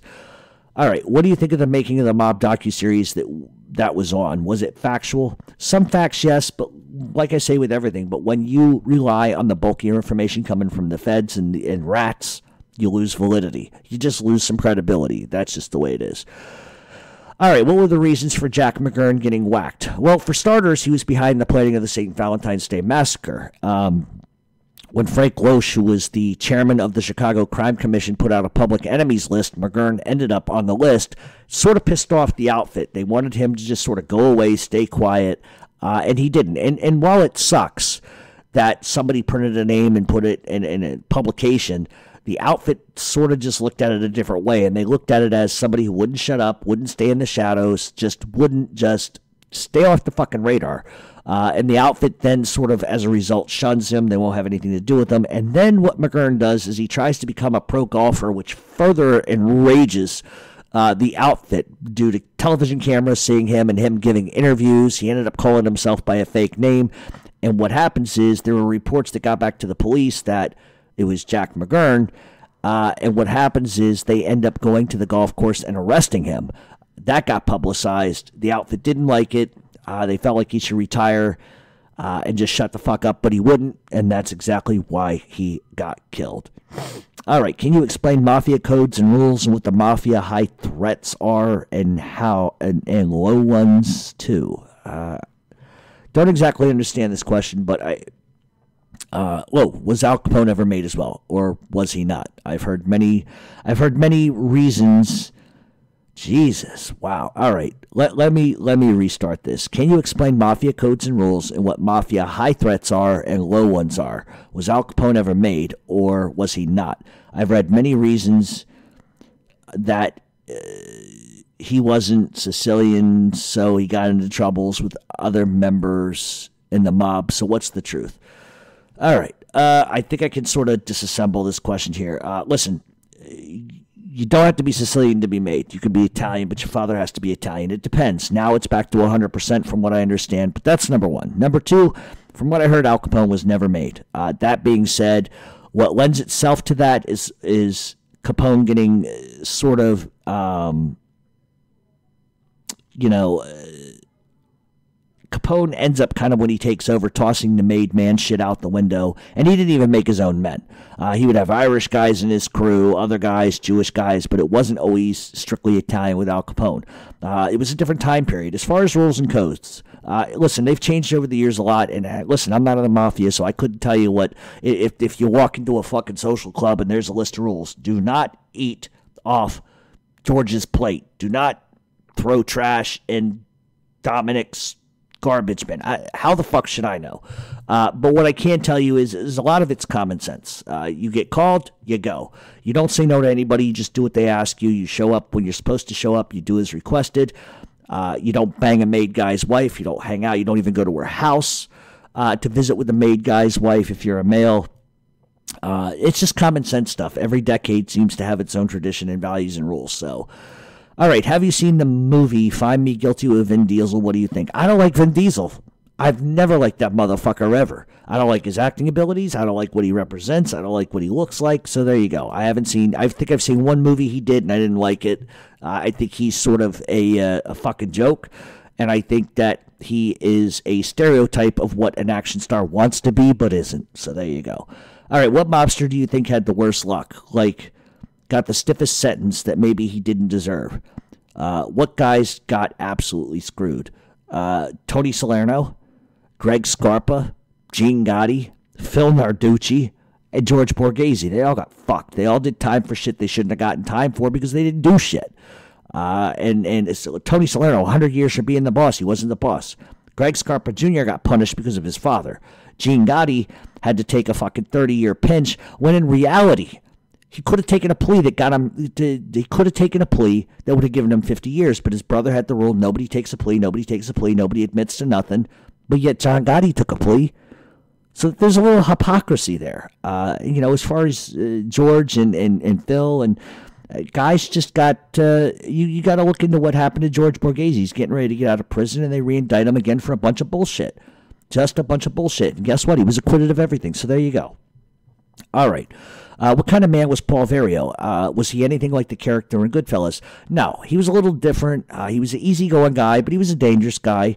Uh, but any correlation to Paul Sorvino to Paul Vario, just it's a very, very, very wide gap. Uh, Paul was a good guy, smart guy, dangerous guy, uh, but had some other attributes that that I'm not going to get into because it's just a little disrespectful. But he sort of had a, like a, a, sexual dysfunction kind of thing going on. Uh, but I don't want to get into that. But by all accounts, he, he was a dangerous guy, but but he wasn't Paul Sorvino. All right, what do you think about the movie Once Upon a Time in America, the long version? I enjoy it, but it's way too fucking long. It's really one of my favorite movies. It's actually on Netflix right now. Uh, it's a great film, but it's just so fucking long. you know, you you got to sit there for a five hour journey. You know, uh, why what what would Gene Gotti and John Carneglia roles have been in the Gambino family if they didn't get pinched in '89?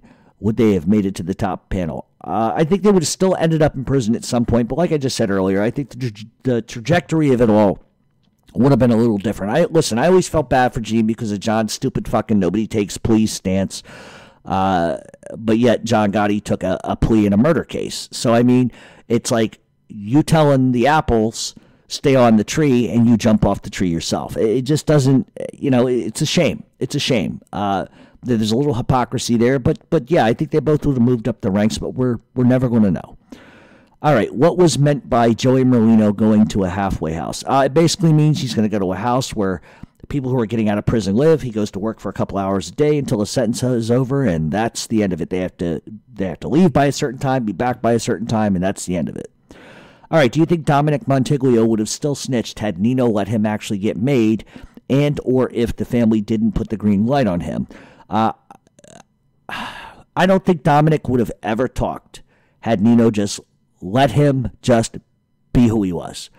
Uh, Nino forced a lot of things with Dominic. Now, granted, Dominic made a lot of choices. We, you know, he ended up a piece of shit rat. We know that, but I think that had he supported Dominic like a son rather than push him into a certain way of life, I think his story would have been very, very different. But like once again, You know, Dominic made decisions and he has to live with them, and uh, and, and that's that's really that. Um, I don't think Dominic did it out of not being made at all. I think he just did it out of he wanted out of the life, he wanted away from him, and he just like a coward ratted on everybody, and that's just uh, that's just the uh, the reality of it. All right, how powerful is the Israeli ma- Israeli mafia? I heard the Abergil family is a global organization. This is a show I'm actually getting ready to put out. It's already been done and it's very good. It'll be out in the next couple weeks. All right, does the mob have any interest in internet gambling, poker, sportsbook? Absolutely 100%. They also control a lot of the porn. Uh, so if you people are out there paying for porn, who do you think you're paying? All right. Any new books or movies or documentaries coming out on the Philadelphia Mafia? Nothing to my knowledge, no, but I'm sure Dave Anastasia is going to, or excuse me, Dave, wow, I combined both of those jerk offs together. I'm sure George will come out with another rap book. He's good for that. All right. Why was Vito Rizzuto brought all the way from Canada to participate in the infamous hit on the Three Capos in New York? And why would somebody of his stature get his hands dirty like that? That's a question I ask I ask myself a lot. Uh, listen, Massino needed outside help. He brought the guys in from Canada. I have no idea why he did that. I don't know why. I think Rizzuto did it as an olive branch to keep the families close, but that's also the same thing that drove the families apart. Uh, it was a dumb idea, and it really did come back to haunt Vito Rizzuto at the end. Uh, but I guess farming work out is one thing, but just doing that just didn't work out for anybody. Is the mob still active in Connecticut? They are, and that's Genovese territory. Mad Dog Sullivan claimed in a video that he did the hit on Tony Caponigro. Do you think he is bullshitting? No. Absolutely not. Listen, Mad Dog Sullivan is a lot of things, but he was a fucking tough guy. Uh, he didn't need to bullshit about anything. So, I mean, if he says it, I believe it. Are you ever going to do a lefty gun show? Absolutely. Uh, I'd assume it's not mafia related, but do we know if Jeffrey Epstein was murdered? Uh, well, the autopsy came out and it said that uh, he hung himself. I don't believe that for a second. Uh, I would love to get into that whole, and that's a whole fucking show in and of itself. Uh, but I, I, I don't, I don't think he killed himself. I, I think he had too much dirt on too many high-powered people. Uh, the the mere fact that like two weeks prior, or a week prior, he allegedly tried to uh, kill himself. Then uh, a lot of people have asked me if that was a botched hit. I don't, I, I don't know. I don't know. I, I just think if you're going to kill a motherfucker in a cell, you just kill a motherfucker. What is that, a dry run? You do a, a dry run a week before, and now we do the real thing? I mean, I just think if you're going to kill somebody, you're going to kill them. Uh, but I, I, think that the FBI is going to have a real problem on their fucking hands now, especially when you look at what happened to Whitey Bulger and, and now this. Uh, you know, FBI is going to be under some serious scrutiny, in which they should. Which they should. All right. All that being said, those are all the questions I am going to cover today because the Luciano story is a big one. Uh, so, all that being said, if I didn't get to your question, uh, just remind me. Inbox me at Real Mob Talk 7 over on Twitter. Check us out on Facebook, Mob Talk Radio. And if I didn't get to it, remind me or ask again, and I'll add it to the list. Uh, you know, as as we keep going, I, I typically try to keep Q and A questions to about an hour, hour ten, because the show that I'm going to do here in a second uh, is pretty significant. Uh, as far as Lucky Luciano goes, and we, we are going to talk about the biography of Luciano. Uh, Luciano was so big in so many ways. There's a million different angles to cover. I'm going to try to keep it as basic as I can. If I start going to the left and to the right of things, we're never going to get it done. Uh, but I, I like to just give facts. I think there's a lot of things about Lucky Luciano people don't realize. Uh, and we are going to get to that. But what we're going to do right now is we are going to take a quick break. Uh, and when we come back, we are going to get to Lucky Luciano. So stay tuned on Mob Talk Radio.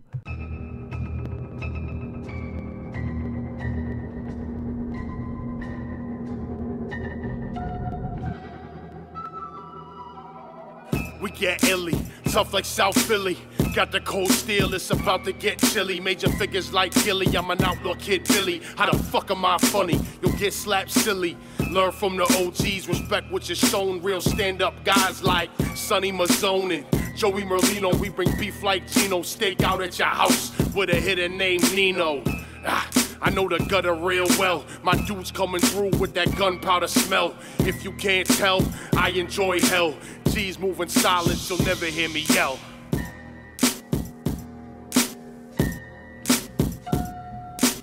Stand up guys rise, no disguise, we in the place. Thick ass thieves, nobody is safe. Reality rap. Don't test the waters, cold of the streets. You gotta follow orders. Stand up, guys, rise, no disguise. We in the place. Thick ass thieves, nobody is safe. Reality rap. Don't test the waters, cold of the streets. You gotta follow orders.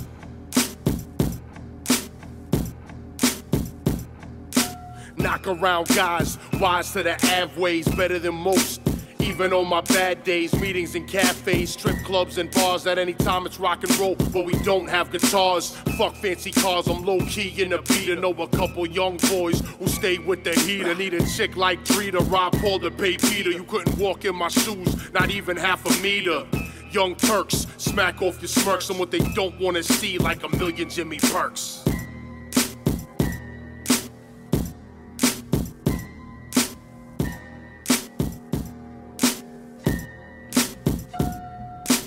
Stand up guys rise, no disguise, we in the place. Thick ass thieves, nobody is safe. Reality rap, don't test the waters. Cold of the streets, you gotta follow orders. Stand up guys rise, no disguise, we in the place. Thick ass thieves, nobody is safe. Reality rap, don't test the waters. Cold of the streets, you gotta follow orders.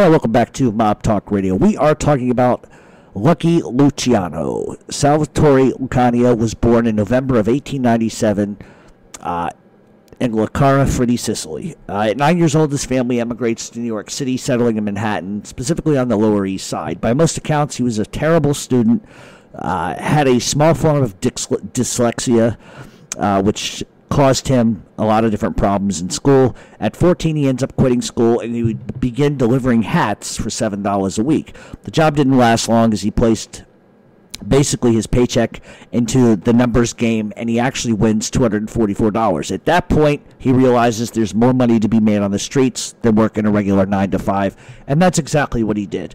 Uh, also, as a teenager, he would start his own gang and eventually be absorbed into the Five Points gang. Even at an early age, Luciano was way ahead of the curve as far as intelligence. Uh, rather than concentrate on stick ups, thefts, robberies, and other type of small, minuscule gang type of behavior, he actually began offering protection to Jewish, Italian, and Irish kids for 10 cents a week. So he was an entrepreneur from a very young age. Uh, he would actually move into pimping uh, and other things. But it's during this time that he would end up meeting Meyer Lansky. This, as the story goes, there are several tales as to how he met Meyer Lansky, but the one that I particularly believe is that uh, Meyer Lansky was getting abused a little bit, beat up by other people, and Luciano stepped in uh, and ended up uh, stopping something from happening. And basically, what it was was I believe the story was is that Lucia, I believe it was Lansky was going to use a gun to defend himself, and uh, Luciano helped him out of a jam, and that's sort of how they became friends. There's a whole bunch of different stories and narratives as to how they met and got along and stuff like that. You can look those up for yourselves and kind of uh, pick and choose which one you want to believe. But as far as his nickname, nobody really knows how he got it, but there's a few theories. Uh, some couldn't pronounce his last name, so they called him Lucky for short. Another was because uh, he seemed to get a lot. Of, he was very lucky in a lot of things that he did, especially in 1929 when he survived getting slashed and beaten up by a bunch of mobsters because he refused to work for a local mob boss. Uh, from 1916 till about 1936, Lucky Luciano would be arrested some 25 times for various crimes, including gambling, assault, blackmail, and robbery, but was lucky enough, hence the nickname, uh, not to do any time in prison. On January 17th of 1920, Prohibition begins. Also by 1920, Luciano pretty much had aligned himself self with some pretty recognizable names like Frank Costello, Vito Genovese, uh, who actually were partners and gang members in the Five Point gangs with him. Uh, that same year, Luciano would be recruited by Joe Masseria to become a hitman, which he did. Also in 1920, Luciano would forge a relationship with Arnold the Brain Rothstein. It was through Rothstein that Luciano learned the essentials to pimping in the bootlegging business. Ro- Rothstein was so impressed with Luciano's ability to be able to learn quick and think on his feet that he bankrolled Luciano in the bootlegging business, and Luciano then in turn brought in Vito Genovese and Frank Costello as his partners. Uh, is widely responsible for teaching Luciano how to operate on the streets. He teaches him how to move in and out of different social circles. Uh, being able to move in and out of high society and the streets was good for business. Uh, in 1923, Luciano was caught selling heroin to an undercover agent. He would actually be arrested, but no charges would ever be filed, leading to speculation that he dropped names to avoid going to prison. Uh, it's not going to be the first or the last time that people levy those allegations at Luciano like that, but as we go along here in his story, we're going to talk more about uh, that. Uh, the arrest for selling heroin uh, pretty much embarrassed Lucky Luciano and really gave him a bad reputation in the elite social circles that he was trying to be in. But Luciano had a, a plan to sort of gain back his reputation. He bought 200, 200 high end seats for the Jack Dempsey uh, Luis Firpo fight, and he handed them out to fellow gangsters, socialites, and politicians. Rothstein also recognized that Luciano dressed like shit and basically took him out and bought him expensive clothes so he could look the part. And between the tickets and the new threads, Luciano was able to regain his reputation. Rothstein always told him, act like a gentleman in public and they will always love you. Leave the brutality and the violence to the back alleys. And it was advice that Luciano never forgot. By 1925, Luciano was making a killing. He was pulling in roughly four, $12 million a year, uh, but after bribes, payoffs, he would actually uh, be pulling in 4 million a year. Keep in mind this is 1925. You guys can do the inflation, but that's a shitload of money. Uh, the bulk of Luciano's money came from bootlegging, which was the biggest bootlegging operation in the entire East Coast. Luciano was an impresario in the sense that he was able to form the rum routes, which would he would later use for drugs. These are the routes that are still used today. Uh, as Luciano continued to show his value as an earner and a willing killer, Masseria gave him a promotion. Uh, Master Joe Masseria, by all, by most accounts, was a bully, no education, had no manners, and he really rubbed Luciano and those around him the wrong way. He was an old world boss and had old world thoughts, and Luciano was sort of uh, more up to date with the trends. Uh, when Salvatore Maranzano comes to New York, he pretty much just announces he's the boss, and the shit just kind of hits the fan. Uh, Maranzano was effectively sent from Italy to New York to run the Castellamare clan. The Castellamare clan would ultimately become what we know today as the Bonanno crime family. Uh, the old world bosses, including Maranzano and Masseria, were old world guys. They didn't believe in working with anybody who was not Italian. Specifically, they didn't want to work with anybody that wasn't Sicilian. Uh, they would even work with uh, other Sicilians but they had to be they would work with with Sicilians, but they tried to keep it from with Sicilians that were from their own villages back in Italy. Uh, Luciano never really bought into that stupidity because he realized that despite all the bullshit, money was green. Uh, and that's the motivation of every gangster, uh, which is why he had zero issues working with blacks, Jews, the Irish, and etc. It also didn't help that Masseria would bust Luciano's balls about Frank Costello, who he was very fond of, basically poking fun at him for being a Calabrian.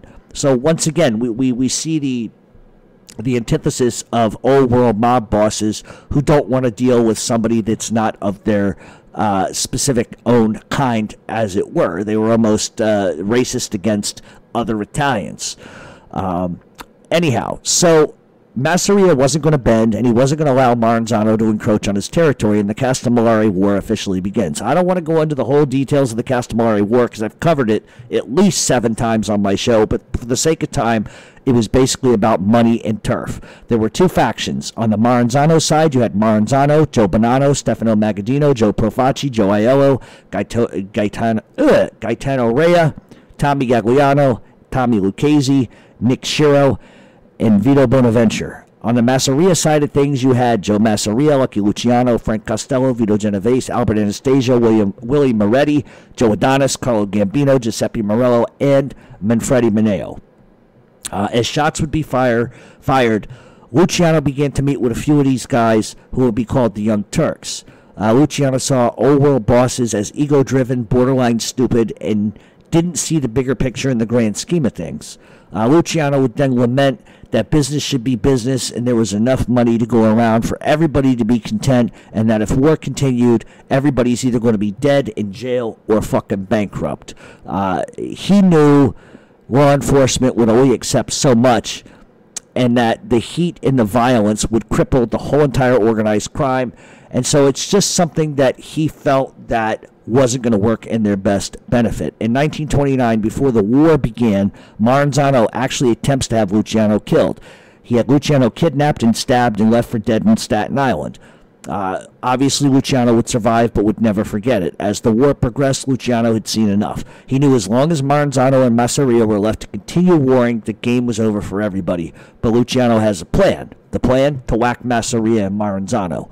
The first obstacle of the plan was Masseria. The, the Masseria side was effectively losing the war to Maranzano, which some people have speculated was the reason why Luciano wanted out. But I really don't think that was the case. Uh, it was basically uh, it was a move to make a move. Uh, and if you're confused by that, just follow along and, and, you'll understand. Luciano knew he had to stoke and stroke the ego of Maranzano. Otherwise, his plan isn't going to work. So he ends up meeting Maranzano privately and he offers to switch sides. He offers his undying allegiance to Maranzano. Luciano tells Maranzano that he would whack Masseria and as a result of that, Luciano would absorb his rackets, but he wanted to be the number two in command of Masser- Maranzano's family. Maranzano didn't have a problem with that whatsoever and agreed to it. Luciano then sets up a meeting with Masseria.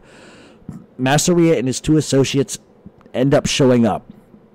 They ate, played cards, and at some point, Luciano excuses himself to go use the bathroom. As he enters the bathroom, four men entered the restaurant and put Masseria out of his fucking misery. The shooters, Albert Anastasia, Vito Genovese, Joe Adonis, and Benjamin Bugsy Siegel. With 12 shots, the war was over, and Luciano absorbed Masseria's family and rackets, and he ends up becoming the number two in the Maranzano crime family. After the death of Masseria, uh, Maranzano does something that people often confuse with Luciano. Uh, Maranzano recognized the structure of the mob. Uh, excuse me, he reorganized the structure of the mafia. Uh, he merged Italian gangs in New York City into five families. A lot of people say that Luciano did that, but that's not true. Uh, but but the way that this would work is that the mob families would be headed by Lucky Luciano, Joe Profaci, Gagliano, Mangano, and Maranzano.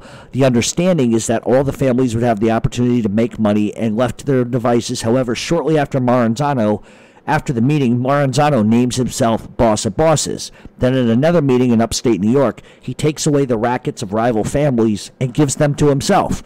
Luciano was absolutely furious at the move. It created discontent, but he kept it to himself because he planned on never playing second fiddle to Maranzano. Other families weren't happy at this either, but everyone sort of kept quiet. Luciano felt that even though Masseria was a money whore, Maranzano was even worse for them. Uh, by September of 1931, Maranzano begins to realize a couple things. For starters, uh, he realizes that Lucky Luciano is beginning to gain a lot of power. Uh, and he especially does not like the people that Luciano is hanging out with. He doesn't like the fact that Luciano likes Jews. He doesn't like the fact that Luciano likes the Irish. He really doesn't like the fact that Luciano uh, gets along so well with Costello. And he sort of realizes that he's not going to be able to put Luciano in his place. And he also realizes that Luciano could possibly overthrow him. So he decides Lucky Luciano's got to go. So what Maranzano does is he goes and he hires Mad Dog Coll to whack him. Uh, Tommy Lucchese was allegedly at the meeting where this was discussed, and he ends up going directly to Luciano and he tells him what's going on.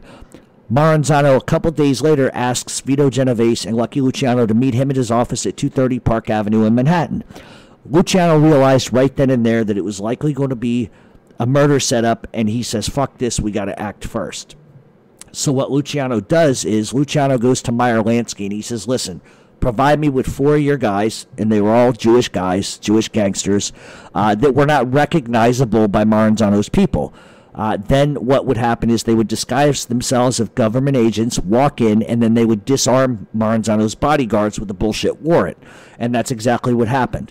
Uh, Tommy Lucchese then walked in, pointed out who Maranzano was, and that's all they needed. They ended up stabbing Maranzano a dozen times before shooting and killing him.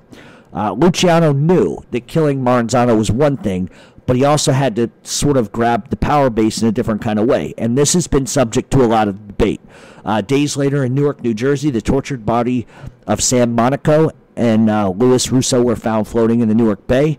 Joe Siragusa, the Pittsburgh boss, was whacked in his home. Next up, uh, Joe Ardizzone, who was boss of the Los Angeles Mafia, he goes to he disappears.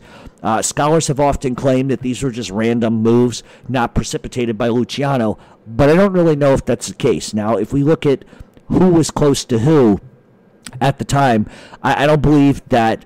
Uh, that uh, Joe Andreozone, who was boss of the, the, the Los Angeles crime family, I don't believe that that specifically had anything to do with Luciano outright. There was a Jack Dragna issue there, uh, Mickey Cohen issue there. Uh, but I think that for those things to happen, Luciano probably rem- probably signed off on it, uh, you know. But I don't necessarily believe that this was all sort of a domino effect of what Luciano was trying to do. Because once Luciano takes out uh, Maranzano and Masseria, I mean, he's got it all to himself. Now they got to listen to him. So you know, I, who knows? Who knows? But but I don't think that's necessarily the way that it went down. Uh, so with Maranzano out of the way, Luciano ends up becoming head of the mafia. Uh, Luciano then could have easily named himself boss of bosses and nobody would have said a thing, but he doesn't do that. Uh, he gets rid of the title. He knew that if there was one person over a whole conglomerate, it would cause war and it would create problems, and it just wasn't worth the drama. He would end up installing the commission, but wanted to get rid of the actual making ceremony itself. He felt that it was too Sicilian, it was old school, and they needed a new update. But Vito Genovese argues with him that the younger members need to learn obedience and structure and that they should keep the rule, and that's exactly what they did. Luciano keeps the rule. Um, and then what Luciano does is he promotes Genovese to his underboss, promotes Costello to his consigliere, makes Joe Adonis, Mike Coppola, Anthony Strollo, Willie Moretti, and Anthony Carfano all captains. Uh, as far as the commission goes, uh, Luciano really wanted everybody to feel like they had input into the direction of the mafia. Uh, a place where they could handle disputes, decide on which family got which territory, and it was just designed to keep the peace and keep everybody moving forward. Uh, and the commission's first major problem comes in 1935. In 1935, Dutch Schultz comes to them because he wanted Thomas E. Dewey whacked. Dewey at the time was a special cross prosecutor uh, who was making things uneasy for easy for Dutch Schultz and other criminals. Luciano disagreed with Schultz, saying that killing him was the wrong idea. It would bring massive heat, uh, and law enforcement would just jump all over top of them. Uh, and Luciano reminded him, "We don't kill women, we don't kill kids, we don't kill cops, and we don't kill judge, judges or any law enforcement officials." Schultz didn't agree with what Luciano said, and he basically told Luciano to go fuck himself and that he was either going to kill Dewey or his assistant, David Ash, in the next couple of days. Uh, and that, in and of itself, led Luciano to kill Dutch Schultz. Two days later, Schultz gets whacked coming out of a bar in Newark, New Jersey. Uh, Luciano effectively responded to that.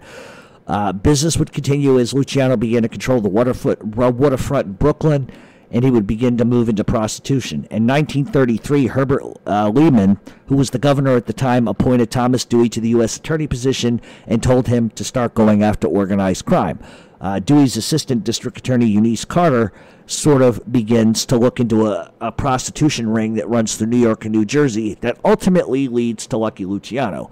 Uh, Carter would trace the money flowing into New York and New Jersey. It would begin to build a case based on informants, wiretaps, and interviews with ladies of the night. and February 2nd uh, of 1936, Dewey gave the go-ahead for Carter to raid some 200 brothels based in Brooklyn and Manhattan. The move gave Dewey the reputation sort of as a gangbuster and a no-nonsense attorney.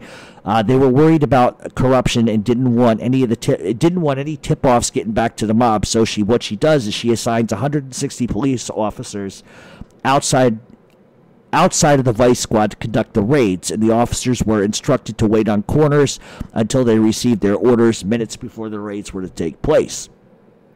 Ten men, a hundred women were arrested. However, unlike previous vice raids, uh, the arrestees were not released but taken to court where judge set bails of $10,000 far beyond the means and pay uh, that these people could afford. Carter had built trust with a number of the arrested ladies of the night uh, and madams uh, some of who import, reported being beaten and abused by the mafia. She, con- she convinced many of them to testify rather than serve additional jail time. By mid March, several defendants had implicated Lucky Luciano.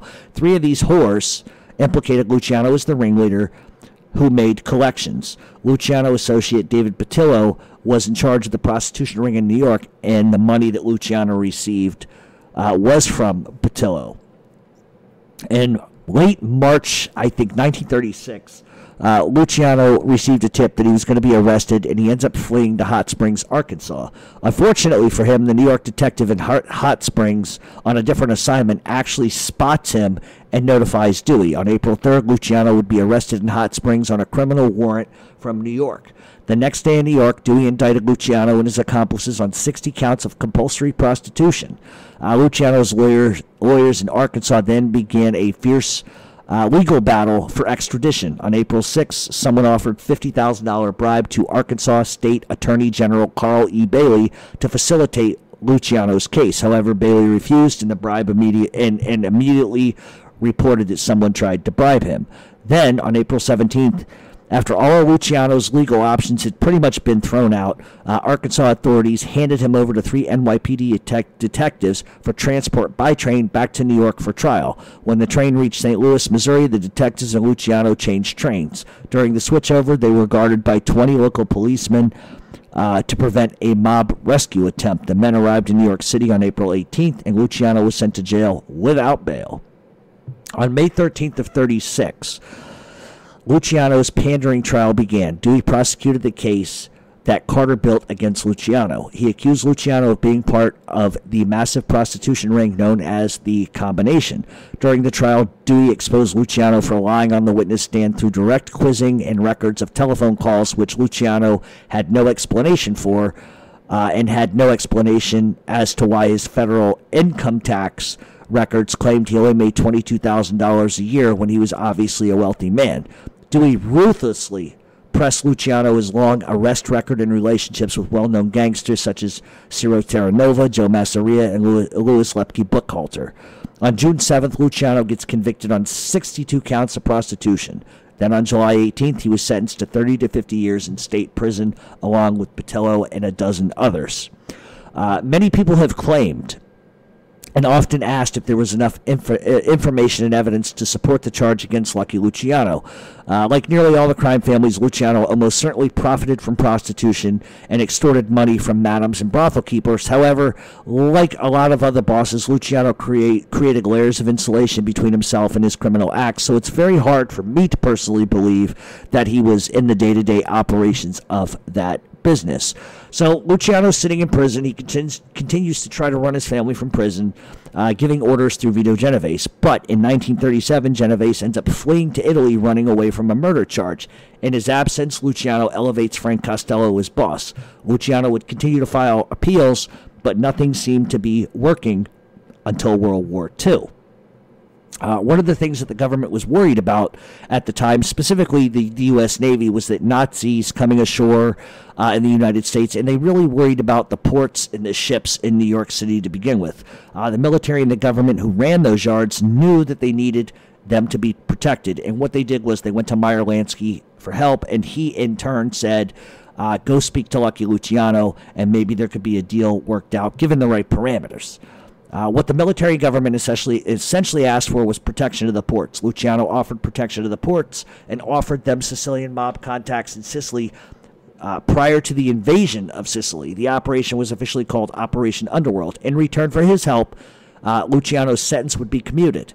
In 1946, as the war was over, Thomas Duty, Duty, he is a duty, isn't he? Uh, Thomas Dewey honored the the commutation, uh, or he, he honored basically uh, what they said before. They would commute the Luciano sentence, and that's exactly what they did.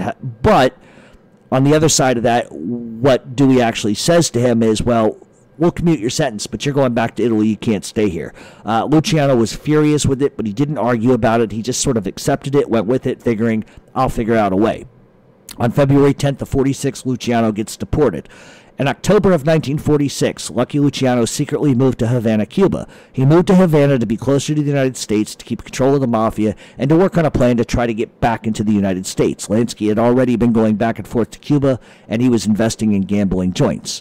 Uh, Luciano had business to discuss, and what he does is he calls Lansky and he says, I want to have a meeting. And I've talked about the Havana conference a million times, so I don't want to get too much into it, but for the sake of it, I'll cover a little bit of it. And at this meeting. They were going to talk about the narcotics trade, gambling, uh, in Bugsy Siegel and Las Vegas. At the meeting, they discussed the failure of the Flamingo Hotel, where basically Lansky asked Luciano to give Lucky give Benny Siegel one more time. Luciano said, "Fuck this shit. He's got to die," and that's the end of it. And that's pretty much the way that went. Uh, they discussed the narcotics trade, the routes, how it would come from Sicily to Afghanistan to Corsica, etc. Uh, and his whole point to the drugs was, we can do it, but I don't want any bosses of families touching it because it, it, it it's let's let the Sicilians bring it in. We'll give them kickbacks on our rackets and etc. But I don't want any American mob bosses touching this shit. Uh, it just brought too much time. Uh, and so uh, something else that was discussed, and, and, this was discussed privately and not in front of everybody else, was the issue with Vito Genovese. Uh, Genovese had actually come back from exile and he expected to take over the underboss role.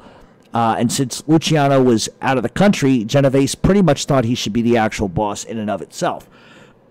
he suggested to Luciano that he should retire and just enjoy his money. Uh, Genovese secretly wanted Luciano go, gone, completely uh, done with the mob. Uh, Luciano wasn't going to accept his smart fucking mouth, and he ends up beating the living shit out of Genovese. The beating was so bad that Genovese couldn't leave his hotel for three days, but this is what Genovese does. Genovese picks up the phone and he calls the government and he rats Luciano out, telling them that Lucky Luciano is now living in Cuba. Uh, it's a rat fucking move. It's a rat fucking move that makes you a fucking rat. Uh, and what ends up happening is the U.S. finds out they're furious because they don't want him anywhere near fucking United States. They want him in Italy where he belongs. Uh, and the other thing is the U.S. starts to put pressure on Cuba, telling them that you know, the, the medications and the medical supplies that you guys need from us, we're not going to give you unless you get rid of Luciano. And, and, within a couple of days, Cuba bows and they throw Luciano the fuck out of Cuba. Uh, Luciano would end up going back to Italy and he would be arrested several different times for a bunch of different things. But one of the things Luciano did was he recognized that narcotics was really going to be his thing. So he, he sort of, and it always was his thing. So he embeds himself with guys like, uh, well, I don't want to get into names, but he beds himself with serious Sicilian narcotics traffickers, and that was going to be the big business that Luciano was going to stick to at that point. Um, so, like I said, he got close to Sicilian traffickers, uh, and they lock down the routes, and they start really importing shit. Then in 1957, Vito Genovese loses his fucking mind. Uh, Genovese, like we said earlier, wanted Luciano out. He wanted Costello out, and he knew that if he removed Costello, then he could essentially take over, but he needed the support and help of others. So he ends up going to Carlo Gambino with an idea. He says, Listen, you and Anastasia are pretty much the same age. You're never going to take over the Anastasia's crime family. Uh, so here's what I pr- uh, propose I'm going to whack Albert Anastasia, uh, and then you'll take over the Gambino crime family. Uh, and then in return, I want you to turn a blind eye to what I'm about to do, and I'm going to kill Frank Costello. Uh, and then Genovese would end up taking over uh, Luciano's crime family, renaming it the Genovese crime family. That's exactly how it ends up going down. And Gambino goes along with it, even though he doesn't trust Genovese for any reason, because Gambino, the ends justified the means in this particular case. Uh, so Anastasia gets hit in 57 at the Park Sheraton Hotel barbershop. Vincent Gigante would botch the hit on Costello outside of his apartment, but it was enough for Costello to say, fuck this shit.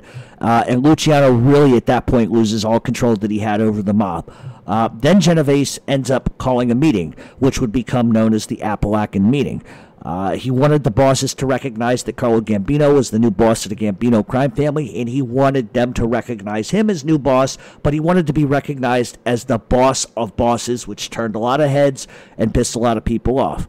Uh, obviously, we know what happened at Apalachin. The feds raid the whole fucking place but the mob essentially blamed Vito Genovese for his ego and his stupidity and for that fucking meeting.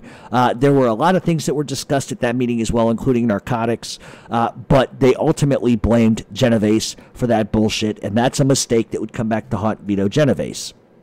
Uh, Carlo Gambino, for instance, never liked Vito Genovese. He simply let it happen uh, because, like I said earlier, he, he let Genovese do what he wanted to do because he had a back plan for all of that. Uh, and what the back plan was is that Gambino went over to Italy, met with Lucky Luciano and Frank Costello, and they worked out a plan to get rid of Vito Genovese. Uh, stories vary. But I think what is the most realistic is that Luciano paid a drug dealer to implicate Genovese in narcotics trafficking. However, Genovese was actually trafficking narcotics. And Genovese actually goes, I believe it was in Texas or somewhere. I believe it was Texas. He goes there to, to, to, physically see his shipment. And when he walks in, guess what happens? Here come the lights, here come the cops. So it's long been said that Luciano notified the government. Is that a rat move? Yes. That is a 100% certifiable fucking rat move. But it was retaliation for what Genovese did. So it was a rat move made by a rat move. But the thing is, in today's connotation, we use the word rat, right? These guys did this to each other. Uh, when John Gotti killed Paul, Paul Castellano, they all went, "Oh, how could he kill a boss? That's he fucked the whole mob up that way." Well, Gambino, uh, Gambino did it. Uh, fucking Anastasia did it. Fucking Genovese did it. Luciano did it twice. So there's a hypocrisy when people make that argument. This is just what the time period dictated. Do I see it as a rat move? 100% I think it's a rat move, but it was different time period, and that's the way that they typically handled things in those days. All right, so all that being said, Genovese ends up getting uh, arrested and he gets convicted and sent to prison for 13 years and would die pissed off as a motherfucker at the world. Uh, he knew he got fucked, he knew he got set up, but karma sort of had a way of fixing people at that point, believe me. Uh, so Lucky Luciano would continue to work in the narcotics trade, but he no longer really had any power. Uh, he ended up moving over uh, in the mafia to more of a, a conciliatory role. Uh, with Genovese rotting in a cell, Carlo Gambino essentially becomes the most powerful mob boss in the world. Uh, Luciano would uh, end up uh, suffering a massive heart attack uh, in the airport in Naples, and some have claimed he was murdered, but that's not the case. He was actually there to conduct a meeting about a film on his life, and that sort of gives credence to these people that have conspiracy theories. Uh, but I, I don't think that's the case. Uh, because ultimately he was going to get arrested right after that meeting anyway because they had filed drug smuggling charges against him and, and he would have gone away for the rest of his life after that anyway with the amount of evidence that they likely had. Uh, so, like I said, he ends up dying in the airport. Uh, they end up flying him back to New York, and he's buried over in St. John Cemetery in Queens. Uh, and and that that's sort of the the small version, the small version of Lucky Luciano. And I, I could have gone on for six hours and, and covered, you know, the Castellammare War uh, in depth. But I think uh, I try to just give people the facts and just put it out there of A, B, C, D, and E because I think that that sometimes is easier to digest. Uh, so uh, here's a couple of things. Was Lucky Luciano a rat? In the sense that he testified against somebody else to not do time. Uh, there is another instance that is out there that people are saying that that that he did he told cops stuff to get off of a couple of charges. There's a lot of rumors like that. But the only thing that is certifiable is that someone tipped off the government to Vito Genovese going there to check on his drug shipment. So who would have known that? Well, a lot of different people, right? And the argument that people might might make to me is, well, it probably came from the inside somebody in his own family. I don't think so. Because who stood to gain the most out of that? Carlo Gambino really is the one that stood to make the most of that. Uh, but I think ultimately, at the end of the day, Gambino was loyal to Luciano and Costello, and he worked with them to try to get Genovese off the streets. But if we go back, Genovese is also the one that picked up the phone and called and told the authorities that Lucky Luciano was in Cuba. So uh, we can argue the rat move back and forth. Those times were different, and I make that argument. Times were different. This is sort of the way they handled things. Uh, it's not the, the, the phrase "rat" in those days compared to today is a little bit different. Was Joe Valachi a rat? One hundred percent. What he did. Uh, but I just think that history will look always looks back on Lucky Luciano being the godfather of the mafia, and he was. Uh, he started the commission. Uh, he reorganized and restructured a little bit and he really brought the, brought the mafia into what it's become. Uh, even today, some of the things that, that are done are done as a result of that's what Lucky Luciano wanted, and that's what he sort of invented. Uh, and and so, you know, he didn't in, he didn't invent the five families. That's a big mis- misnomer that people get wrong. Uh, that was actually a a, a uh, Maranzano thing. Uh, but as far as Luciano was a gangster, straight gangster, straight businessman. Probably the most prolific gangster to ever have lived. I would put him, uh, and I, for the life of me, I don't understand why Al Capone gets all these accolades. Uh, when in comparison to Lucky Luciano, Luciano was the face of the mafia, should be the face of mafia. Uh, he just was that smart and that good. Uh, I don't necessarily agree with the way he handled putting Vito Genovese away because you should have just killed the motherfucker. Why didn't you just kill him? Killing him would have been a hell of a lot fucking easier than doing it the way you did it. But Costello had something to gain because Genovese tried to kill him in an unsanctioned hit. So I, am curious as to why they didn't kill Genovese. I, I, think that that's that seems to be a question that I get from a lot of people: is why did they go the rat route? Why didn't they just fucking kill him? To me, killing him would have been a lot easier, probably a lot safer. But there's a reason why they didn't, and I'm not sure what that was. I, I don't think it was necessarily fear. I think they might have been worried that Joe Bonanno would rise up a little bit.